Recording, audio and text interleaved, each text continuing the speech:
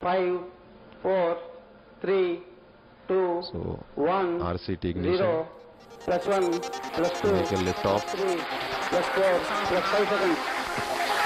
A majestic liftoff of the vehicle with four solid strap-ons and is the first Singapore-built satellite designed and wholly developed within NTU. More than a thousand high-resolution Earth images have been captured since May 2011.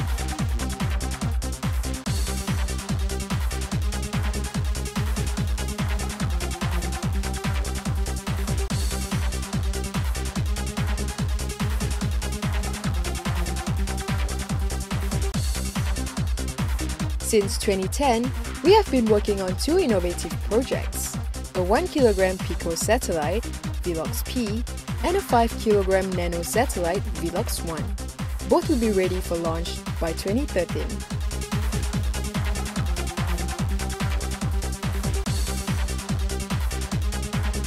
For this automated sun simulator, it projects 1300 watts power per square meter with the sun ray in parallel beam.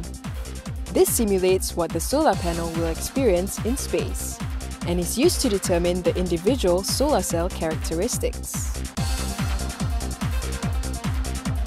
The vacuum chamber is used to test the satellite hardware for outgassing effects in the space environment.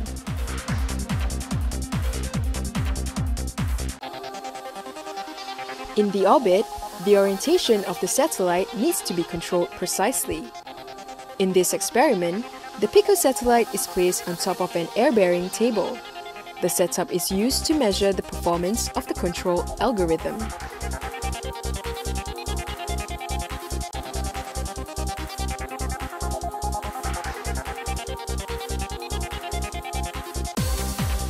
Housed within the Class 5000 clean room, the flight model is under testing to ensure they function correctly with the desired performance.